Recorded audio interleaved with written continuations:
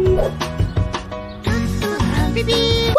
olha eu aqui! Ô papai, ô mamãe, cheguei! Quero contar algo pra você legal. Deixa eu perguntar uma coisa pra vocês.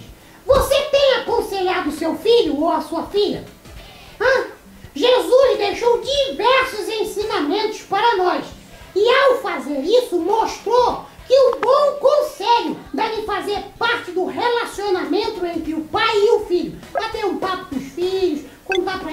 experiências, coisas boas, isso mesmo. A linguagem de Jesus era de humildade, amor, mansidão e temor a Deus.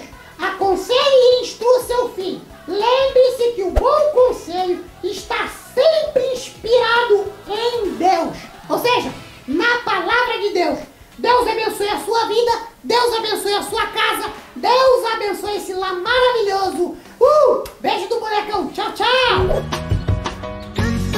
Uh!